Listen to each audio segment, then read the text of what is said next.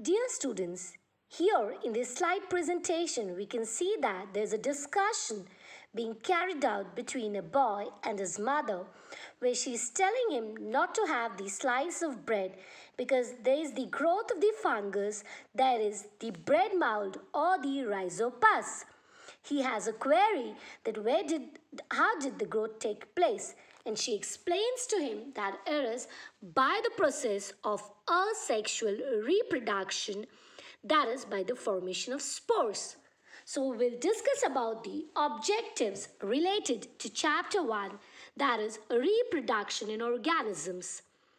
We'll come to know about reproduction, we'll be able to understand the difference between sexual and asexual reproduction, various modes of asexual reproduction and events of sexual reproduction in this chapter. Reproduction is the biological process of formation of new offsprings from their parents. It is basically carried out by two modes that is asexual and sexual reproduction, wherein asexual reproduction involves the simple process of mitosis, that is division of parent into two daughter cells without the fusion of gametes. So there is only involvement of a single parent that gives rise to clone. Whereas in case of sexual reproduction, there is fusion between the male and the female gamete, that is egg and sperm, to give rise to offsprings which are different from the parent. They have got their own genetic constitution which is different. Now talking about the various modes of asexual reproduction. Asexual reproduction includes the various kinds of fission, that is binary and multiple, budding, vegetative propagation, spore formation, fragmentation, and parthenogenesis. Talking about the first, that is fission, which is binary fission, it is observed in unicellular organisms like amoeba and paramecium, where there is karyokinesis followed by cytokinesis, leading to the formation of two daughter amoeba. Here, there is simple cell division that is mitosis, leading to formation of clones.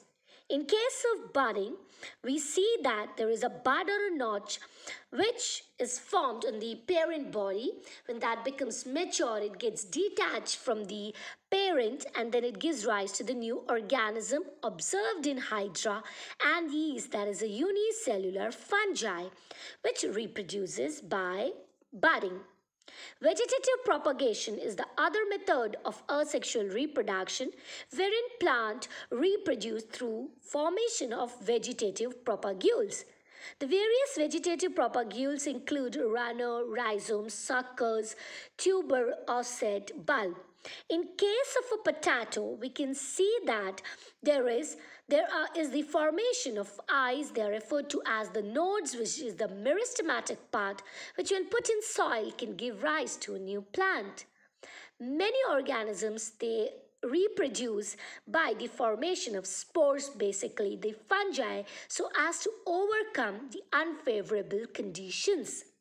Fragmentation is the other method of asexual reproduction wherein the new organism is formed by the fragmentation of a mature or an adult parent commonly found in lichens, fungi, and certain algae like Spirogyra, which reproduces by the process of fragmentation leading to formation of daughter cells. Parthenogenesis is the process in which unfertilized egg develops into new individual. There is no mating between the male and the female gametes. It is observed in some insects, fishes, frogs and lizard, also in whiptail lizard. Hopefully, you must have garnered the concepts related to asexual reproduction.